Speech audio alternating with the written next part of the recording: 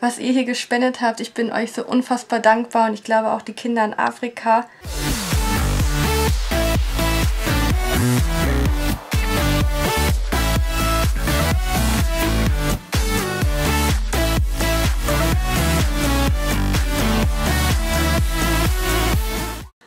Zusammen, herzlich willkommen zu einem neuen Video von mir. Es geht weiter, es sind tatsächlich nur noch acht Tage wir zählen jeden Tag und wir freuen uns schon total auf den Umzug. Müssen allerdings noch einiges schaffen. Der Keller ist komplett fertig, Leute. Von dem Keller werdet ihr jetzt gar nicht mehr viel sehen. Aber der Wohnbereich, ich weiß nicht, irgendwie haben wir das Gefühl, wir haben alles gepackt, was geht. Aber wenn man guckt, dann sieht das Ganze so aus und es ist alles noch voll. Ich werde jetzt hier nochmal durch die Küche gehen. Solche Sachen hier kann man schon einpacken. Man braucht doch nicht diese ganzen Schalen. Man sieht ja auch immer, was sich hier drin befindet. Das ist alles unnötig. Wasserkocher brauchen wir natürlich genauso wie Toaster. Aber wir brauchen keine 10 Messer jetzt die letzte Woche.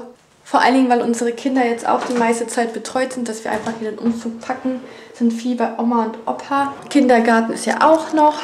Ganz lieb von euch. Ich habe auch Kommentare bekommen. Vergesst nicht da oben die äh, Schüsseln in der Küche auf dem Schrank. Kissen und für die Sofas und sowas alles. Das wird alles schon eingepackt. Ich gehe jetzt einfach durch diverse Räume und packe noch weiter ein. Gleich um 11 Uhr, also circa eine halbe Stunde, nehme ich euch auch mit. Da fahren wir zu der lieben Waldrau. Das ist die von der Uganda-Hilfe, die da mitarbeitet.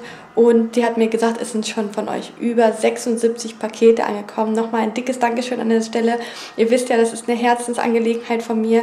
Ich dachte, wir fahren da hin und wir machen zusammen die Pakete auf. Ich zeige euch einfach mal, wie toll ihr seid und äh, was wir zusammen geschafft haben. Und äh, wir schauen einfach mal ein bisschen durch die Pakete. Ich brauche als erstes meinen Karton. Die Rutsche kommt übrigens auch mit. Die werden wir nicht auseinanderbauen. Die wird einfach hier in diese Folie eingepackt. Wir haben noch recht viele Kartons, finde ich, wenn man so guckt. Aber alles ist vollgestellt. Heute kommen auch noch Ikea-Möbel. Das sind die Gartenmöbel. Die werdet ihr dann sehen im neuen Haus. Das zum Beispiel habe ich euch auf Instagram gezeigt. Das ist so ein Tablett für draußen.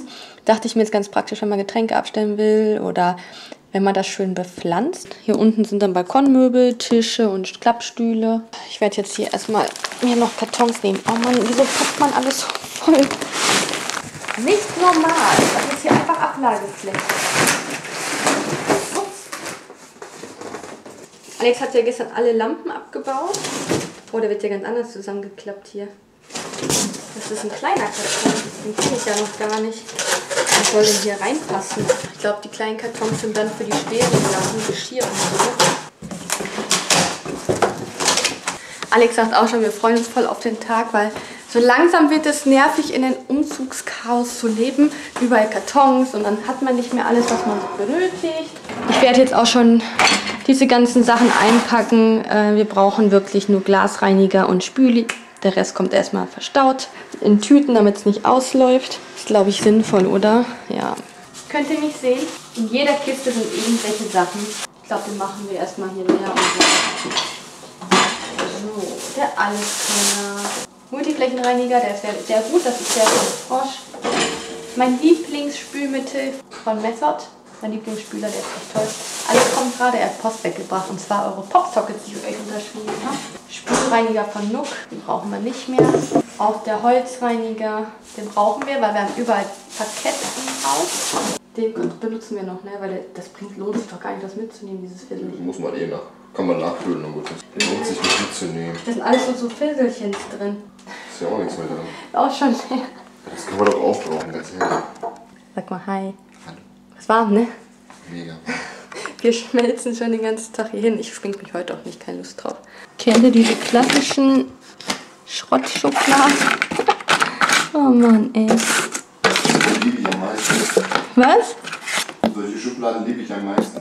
Das sind Sachen, die man nicht braucht, was? Schon früher als Kind habe ich solche Schubladen geliebt und habe ich immer gerne rumgekramt. Wir wollten auch noch was spenden. Ganz viel Babykleidung. Das wären alles diese Tüten. Die bringen wir jetzt auch hoch und Alex fährt die noch weg. So, der Raum wird schon leerer. Ich suche noch eine Kiste von Fuchs und Kiwi. Die haben nämlich auch mal eine Spende gemacht. Das ist doch voll schön. Will Alex das nicht mitnehmen? Ich habe jetzt alles, glaube ich, an Babysachen rausgeräumt für die Spende. Ich habe hier das Fuchs und Kiwi Paket. Mal gucken, wie ich gleich da dran komme, ohne dass ich mich verletze. Ich werde noch Spenden aus meinem Shop machen. Und zwar die Spiel Holzspielzeuge, die Reiflinge, Kinderwagenketten und Rasseln für die Babys im Krankenhaus. Als kleines Geburtsgeschenk oder so. Selbstgenähte Kinderkleidung aus dem Shop. Ja, das werde ich auch noch dorthin geben. Das kommt jetzt alles von uns zum Spenden. Langsam. Alles gut. Das ist von Fuchs und Kiwi selbstgenähte Kinderkleidung. Das ist aber B-Ware. Die stehen alle hier. Das sind Wow. die ganzen. Das ist aber ordentlich, ne? Eins aus Österreich habe ich gefunden. Aus Österreich. Krass. Ist noch eins aus Österreich, aber da weiß ich nicht wo. Also das ist das hier jetzt quasi alles. Da haben wir was zu tun, ne? Ja, heftig. Ich hoffe, ihr könnt mich sehen. Ihr habt es gesehen, ne? Unheimlich viele Pakete. Ich glaube, es sind über 70 Stück, oder? Hattest du gesagt, ne? 80 mittlerweile. 80. Es ist unglaublich. Ich weiß gar nicht, wie ich anfangen soll. Ich glaube, ich nehme mal das Paket aus Österreich. Boah, das ist richtig schwer. Dann gucken wir mal. Weißt- Weihnachten, ne? Wie Weihnachten, ja. Für die Kinder auf jeden Fall in Afrika dann. Ja. ne? Langarm. Kann man auch gebrauchen, es wird nämlich nachts kalt. Also hier haben wir schon mal ganz viel Kinderkleidung, was natürlich super ist. Die haben da nämlich nichts zum Anziehen. Was haben wir hier?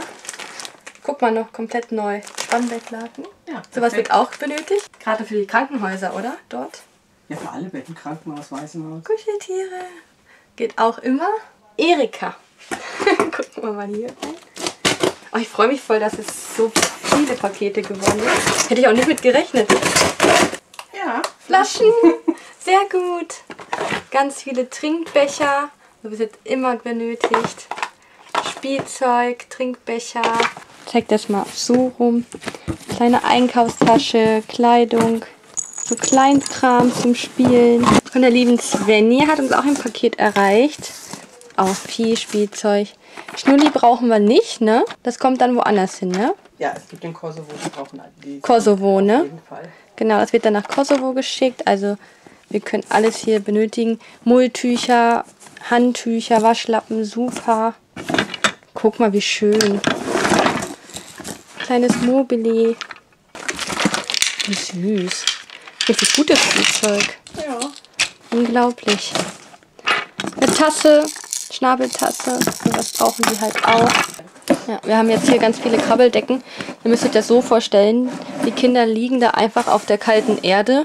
Das ist teilweise einfach Beton, glaube ich auch. Schaut mal, schönes Holzspielzeug. Leute, das ist einfach der, der Knaller, was ihr hier gespendet habt. Ich bin euch so unfassbar dankbar und ich glaube auch die Kinder in Afrika. Ich werde es gar nicht schaffen, hier alles im Video auszupacken und euch zu zeigen, wer was geschickt hat. Ich danke jeden einzelnen von euch, der dieses Paket geschickt hat. Ich werde es gleich noch ein bisschen hier weiter auspacken und das sortieren. Einfach ein dickes, dickes Danke. Während ich hier auspacke, sind gerade nochmal drei Pakete von euch gekommen. Da. Zwei Pakete von derselben Person. Drei Pakete. Oh Gott. Oh. Wollen wir mal direkt auspacken? Guck mal, und wieder Krabbeldecken, Handtücher. Ich habe, glaube ich, schon mal im Video erzählt, dass ähm, die Kinder teilweise aus dem Krankenhaus nach der Geburt entlassen werden und gerade mal nur ein Handtuch haben zum Anziehen. Mehr haben die da gar nicht. Deswegen ist sowas natürlich Gold wert. Im Bett ist. Da kriege ich Retourscheine für.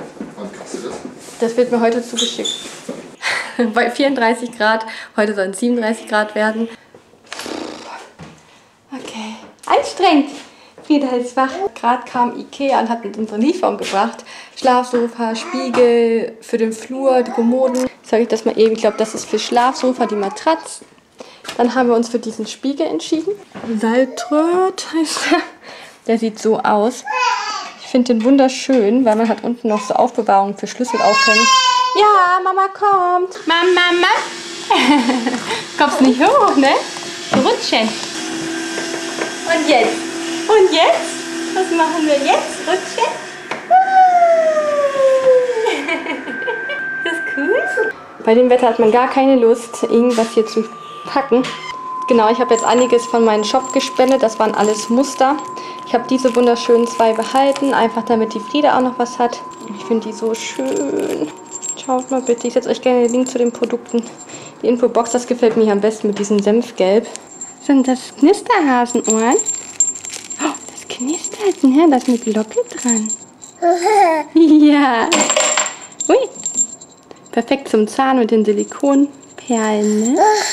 Ja. Cool. Macht Geräusche. Jetzt gerade kam unsere Stoffmuster für unser Sofa. Wir haben ja, Moment, ich zeige euch das. Wir haben ja von Ikea das Kiewik-Sofa, aber ich muss auch ehrlich sagen, unser Haus in Berlin ist kleiner als das Haus, was wir jetzt haben. Deswegen ist dieses dunkle Sofa, ich finde, ganz schön erdrückend, kann man das so sagen. Deswegen haben wir uns dazu entschieden, kein neues Sofa zu kaufen, sondern einfach neue Bezüge.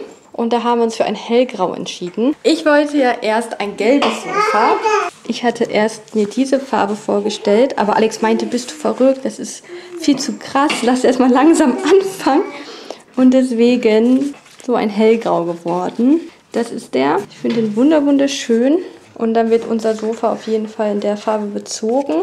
Da werden Bezüge für genäht. Wenn das soweit ist, zeige ich euch das. Und das Coole ist halt, dann könnt ihr es auch abwaschen und wieder in die Waschmaschine packen. Ich wollte euch das mal eben zeigen. Also das ist ja jetzt der jetzige Stoff. Ich weiß, dass man bei Ikea auch die Bezüge neu bekommt in ein hellgrau. Aber die haben mir gar nicht zugesagt. Deswegen haben wir uns jetzt für diese Variante entschieden. Das ist schon ein deutlicher Kontrast. Ne? Ich bin ein Hase. Wird auf jeden Fall schön hell.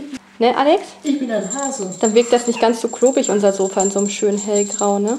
Ja, ich gucke mal, wir haben echt nicht viel Platz. Ja, kann sein, dass wir sogar irgendwie da ein Dreiersofa rausmachen müssen und dann Hast ja schon umbauen. gesagt, ne? Wir lassen das auf uns wirken, erstmal unser Sofa. und Genau. Dann, dann entscheiden wir. Also, wenn, wenn er zu groß ist, dann, dann müssen wir leider verkaufen. Ja. Aber wir nehmen es erstmal mit. Es gibt ja auch die Möglichkeit, daraus einen als Dreier zu machen. Snooki. Ja. Boah, ich bin so am Schwitzen, das ist einfach nur abartig. Es ist einfach Wohnzimmer und Esszimmer ist kleiner als hier. Ja, Wohnzimmer, Esszimmer ist alles klein. Das werdet ihr dann noch sehen, wenn es soweit ist. Können wir die Rutsche nicht erst mal schon einpacken, damit die Feder nicht immer drauf klettert? Ich wollte irgendwo draufstellen. Ja. Die klettert, das Das gefällt. ist Flur. Flur, also beschriften. So. Chemnitz-Kommode, Flur. Das ist eine Kommode. Wohin Ja. Flur, ne? Bacabro, Sofa, Zweiersofa. Das ist dann Pauline. Das sind die Garderoben, diese Bäume. Ah, Flur. Sind voll schön. Flur. Flur. Glaubst du, die gucken da drauf, die Männer? Musst du zukleben, zusammenbinden, oder? Ein Paket schnüren. Guck mal, wie schlau du, ey. Ein Fuchs bin ich. Und clever ist unsere Isi. Wieder wie die Rutsche hoch. Das klappt nicht. Schmeckt es ja. Keller Billigregal für die Ordner. Ich habe sonst nichts gekauft. Schlafsofa. oh, ja, stimmt. Billigregal, Keller, ne? Keller, Billigregale, damit wir alle unsere Ordner da unterbekommen, weil wir ja kein Büro haben und auf unser Bürozimmer verzichten. Aber wo ist denn das Schlafsofa? Da drunter. Ja, da drunter. So, so Schnuckis wollte ich gerade sagen. So Schnuckis. Äh, ich melde mich gleich bei euch wieder, wenn wir Schlafsofa. Ähm, wenn wir hier weitergekommen sind mit ein paar Ergebnissen. Derzeit tut sich ja nicht viel, das Chaos ist einfach überall. Hier draußen haben wir noch unsere alten Esszimmerstühle stehen. Die sind noch aus der alten Wohnung, wo wir angefangen haben mit YouTube aus der Zeit. Tatsächlich. Die sind aber noch super gut und die nehmen meine Eltern mit. Es ist einfach eine Katastrophe hier, wie es aussieht. Wir haben tatsächlich jemanden gefunden. Uh, hält es mich. Der den Trödel komplett uns abnimmt, so wie er im Keller liegt, für ein gutes Angebot. So haben wir den stressig. Wir wollten erst einen Hausflohmarkt machen. Aber ehrlich gesagt haben wir keine Zeit dafür. Das schaffen wir nicht alles noch damit umzuziehen. Und ja, so sind wir alles weg. Jemand freut sich. Wir schmelzen einfach dahin. Der Alex hat gerade ein richtig cooles Instagram-Foto gepostet. Die Frieda versucht zu laufen. Sei es am Kinderwagen oder im Rollauto. Komm, Mama hat, macht hier Wasser rein. Heute ist der heißeste Tag des Jahres. Deine, aber nicht essen, ne? Super. Ach, war auch eine Abkühlung. Ja, Steine waschen. Aber aufpassen, dass nicht Frieda das Mund nimmt, ne? Alex hat jetzt gerade eben die Weinkisten abgeduscht, abgebraust. Und die lassen wir jetzt in der Sonne trocknen. Da waren richtig viele Spinnenweben und so dran. Jetzt sind die wieder sauber. Die nehmen wir mit. Entweder hängen wir die ins Haus als Regal, das finden wir ganz cool. Oder wir benutzen die für den äh, Garten, für die Terrasse, als Regale, so aufeinander. Und dann kann man da Sachen reinstellen. Oder man kann da auch Spielzeug von den Kindern reinpacken. So, meine Lieben, es ist schon dunkel mittlerweile, kurz vor neun. Wir haben jetzt anderthalb Stunden auf den Mann gewartet, der den Trödel abholen wollte. Ich wollte euch eigentlich zeigen, wie es aussieht, wenn alles leer ist. Aber manchmal denke ich mich echt, was mit den Menschen los ist. der Kontakt bestand die ganze Zeit. Er meinte, es dauert länger, weil Baustellen sind. Und am Schluss war es einfach so auf Instagram, dass ich ihn nicht mehr gefunden habe. Und unser Gespräch war weg. Sprich, er hat mich wahrscheinlich blockiert oder so und hat sich einen Spaß daraus gemacht. Finde ich überhaupt nicht cool. Haben da natürlich nichts von und wir waren auch noch so nett und haben noch mehr Trödel für den Herren zusammengesucht. Naja, egal. Es wird morgen dann abgeholt. Ich finde es halt irgendwie nur schade und denke mir so, das Vertrauen in die Menschheit geht dadurch definitiv bei mir verloren. Die Leona schläft heute unten auf dem Sofa, weil es extrem warm bei ihr oben ist. Das alles hier war noch für den Trödel zusätzlich dazu gepackt, ein ganzer Karton. Naja, wer nicht will, der hat schon. Ich ärgere mich darüber nicht. Ich finde es halt nur schade für die Kids, weil wir hätten die Zeit dann halt auch sinnvoller nutzen können, anstatt hier zu warten. Alex legt gerade die Pauline oben schlafen. Das hört ihr nämlich. Leona, siehst du Teddy irgendwo? So, meine Lieben, ich würde mich auch für heute Abend verabschieden. Es war anstrengend genug heute und viel zu heiß. Ich würde sagen, wir sehen uns die Tage. Nächstes Mal seht ihr dann Alex Video. Das kommt dann, ja, das ist dann schon online, wenn ihr dieses Video seht. Und ich würde sagen, bis bald. Tschüss.